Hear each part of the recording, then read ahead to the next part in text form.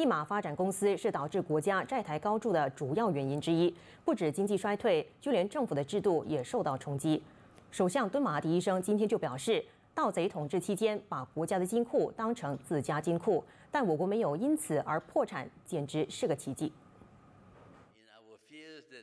首相今天在马来西亚策略与国际研究院实践会议发表主题演讲时说：“西蒙推翻盗贼统治权之后，最大的挑战就是收拾残局和重建国家。”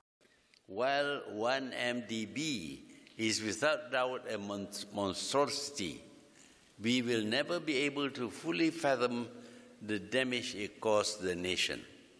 Beyond the corruption and the financial shenanigans, the whole machinery of government was subverted and weakened.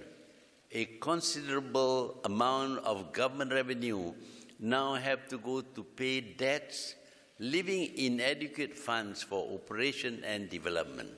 敦马说，要国家恢复元气，继续向上发展，就必须拯救政府机制，提高工作绩效。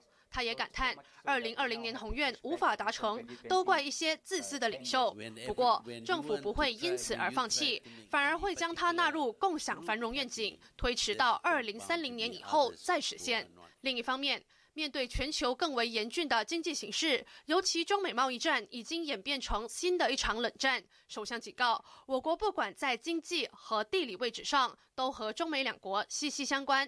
照这样下去，大马可能成为制裁的目标。为此，我国有必要为最坏的情况做打算，加强和东盟邻国的合作，减轻经济冲击。马新社电视采访报道。